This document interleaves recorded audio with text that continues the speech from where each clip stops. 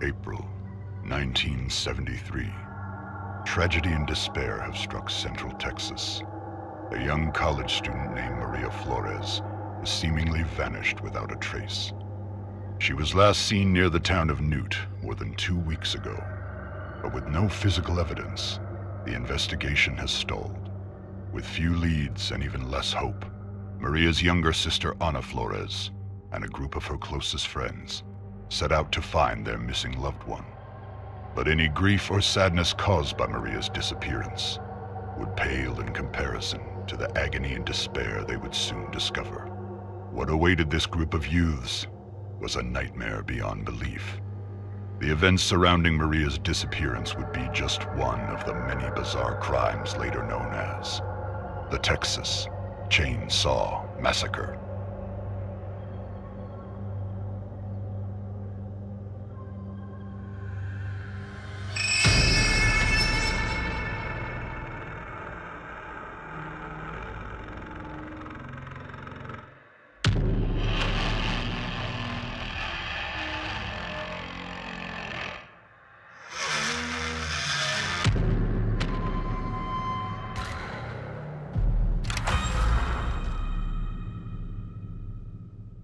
You're part of the family now.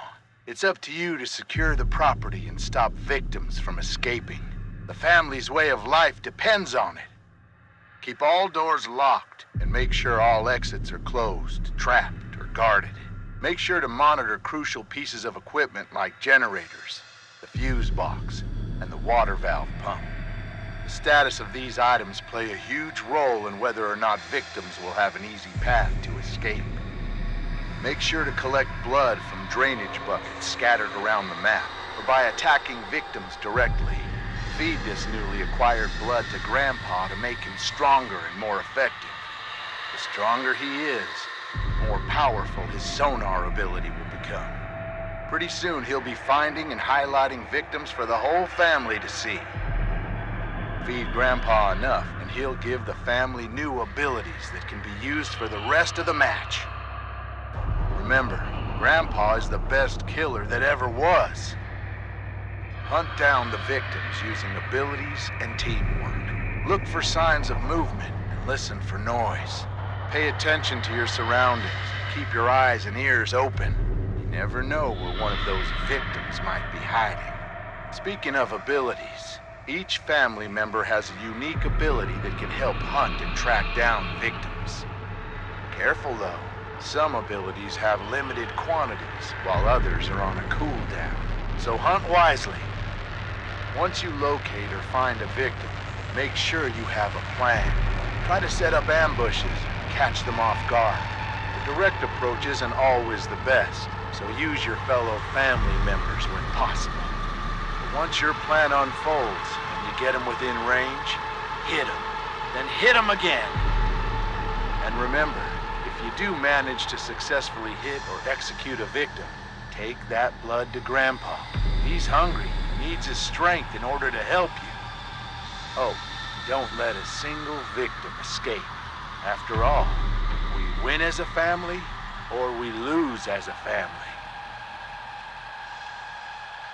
You've been captured by the Slaughter family, tied up, tortured, and left for dead. You must do whatever it takes to escape the family's property at all costs.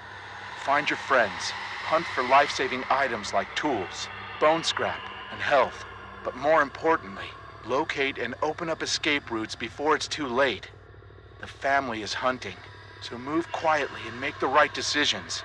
Your life depends on it. Stay quiet and hidden. Move slowly and carefully to avoid making excessive noise. Use shadows and tall foliage to stay hidden. Take cover behind tall objects to break line of sight. And last but not least, use the environment to your advantage. Wall gaps, crawl spaces, and unique hiding spots like freezers, armoires, and even vehicle trunks can be used to evade the family. Use them. Watch out for objects that make noise. Moving too fast through the environment can spell disaster. Searching for items slowly will drastically increase your chance of survival. Even moving too fast through doors can give away your location, so stay calm and move quietly. The family is always listening. Find useful items. Tools can be used to break locks on doors. Health items can heal you, while bone scrap can be used to sneak attack or even confront the family directly. These items can mean the difference between life and death. You can only carry two items at a time, so choose wisely and try to plan ahead. Unlock exits. The heavy metal doors almost always lead out of the basement. Find and open them. Once upstairs, keep moving if possible. There are multiple escape routes located on the outer edges of the property, so find a way to open them. Some escape objectives like the fuse box and water valve pump require specific items to activate them. These items can be found scattered around the property. Be on the lookout. Escape the family. Having trouble finding an escape option? When in doubt, head towards the main road or rear gate. Those are usually the easiest option, if you can get there. The water valve gate and the basement door exits are also available options if you can find the necessary parts to activate them. The basement door requires you to find and repair the fuse box, while the water valve gate needs the pressure valve handle to open. Once fixed, the escapes will open up for you and your team. Use your abilities to stay alive. Used at the right time, they can mean the difference between life and death. Be careful though.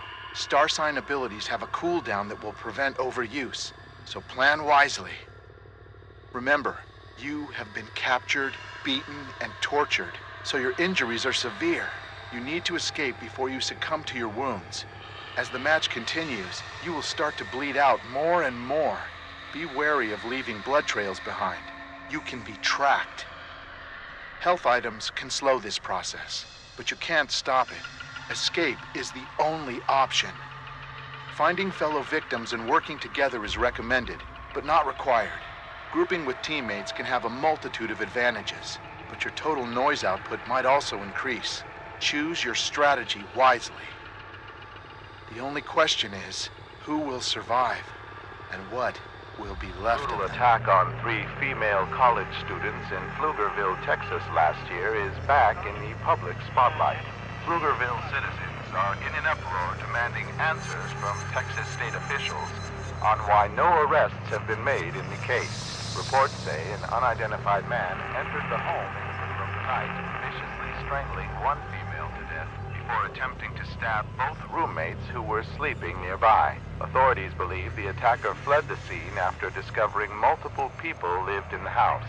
The man is believed to be in his late 20s, has dark hair and brown eyes, and has several scars on his face and arms. Police are urging anyone with information to please come forward. The search continues in Muerto County for a missing University of Texas student. The sheriff's department says Maria Flores, a native of Uvalde, was last seen near the town of Newt. Her vehicle was recently discovered abandoned, with officials reporting no signs of foul play. Authorities are hopeful that the expanded search in nearby communities of Harlow and Chinatown will unearth the lead. Family and friends are urging anyone with information regarding her disappearance to please come forward. Jared Gaines wasn't sure what he was expecting.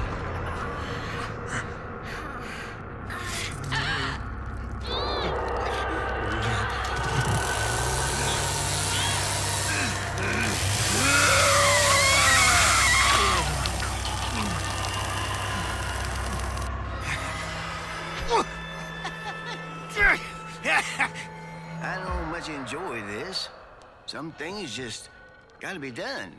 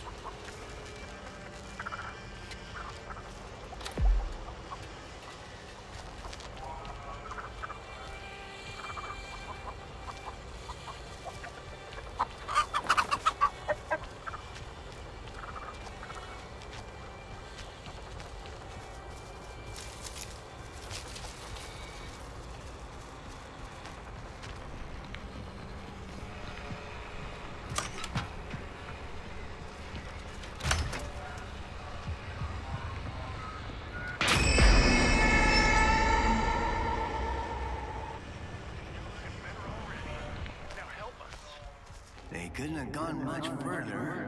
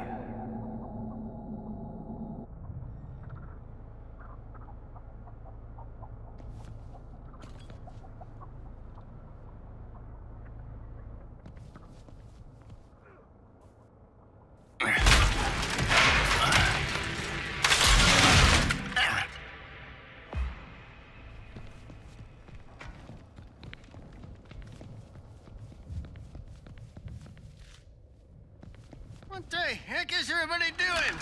We should have found him by now.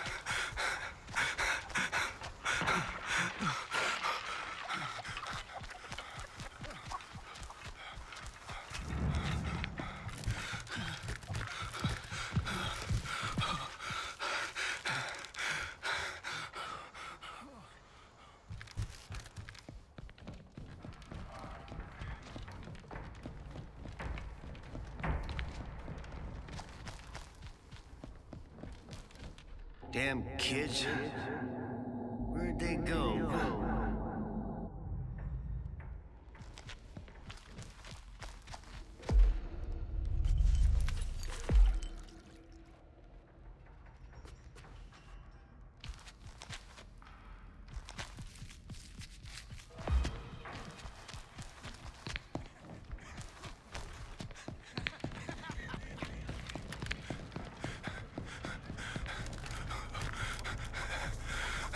Can't count on no one around here. Better get to it.